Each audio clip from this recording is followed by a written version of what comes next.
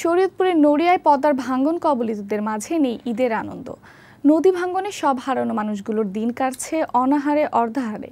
ঈদ উপলক্ষে এসব এলাকা মানুষদের চাল ও ঈদ সামগ্রী বিতরণ করা হলেও এই সমস্যার স্থায়ী সমাধান চায় ক্ষতিগ্রস্তরা। শরীয়তপুর প্রতিনিধি মোহাম্মদ খালেদ পেদার তথ্যচিত্রে রিক্স রিপোর্ট। এক বছর আগেও নিজ বাড়িতে ঈদের আনন্দে মেতেছিল শরীয়তপুরের নড়িয়া উপজেলার মুক্তারের চর। নড়িয়া পৌরসভার বাঁশতলা, মুলফতগঞ্জ, কেদারপুর ইউনিয়নের ওয়াফদা, সাধুরবাজার ও চণ্ডীপুর এলাকার মানুষগুলো। কিন্তু পদ্মার ভাঙ্গনে বসত ভিটা সহ সব হারিয়ে এখন তারা নিঃস্ব।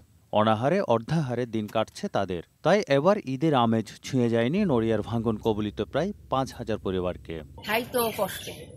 তা খাইতে কষ্ট হইলে মনে করেন সরকারে তো টাকা টুকা কিছু দিই। নদী ভাঙ্গনে আমার চারটা ছেলে চার জায়গায় আমি কিসের ঈদ করব আর কি করব? ঈদও যেরকম সবসময় যেরকম চলি হন বর্তমানে আমাকে এরকমই। ক্ষতিগ্রস্ত পরিবারগুলোকে ঈদের জন্য বিশেষ সহায়তা হিসাবে চাল ও ঈদ সামগ্রী বিতরণ করা হয়েছে বলে জানিয়েছেন নড়িয়া পৌরসভার মেয়র। সকলকে আমাদের লুঙ্গি শাড়ি সহ এবং ঈদের সামগ্রী যা যা অনেকেরই যেটুকু দরকার আমরা দেওয়ার চেষ্টা করেছি।